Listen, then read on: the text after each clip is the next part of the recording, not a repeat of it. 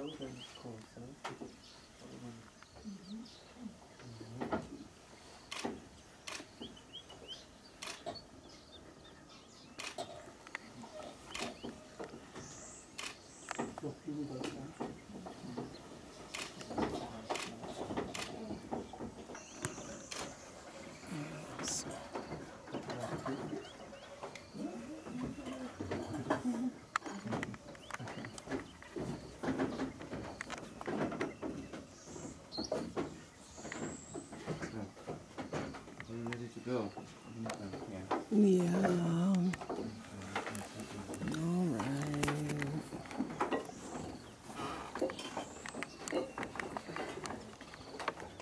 If we have to.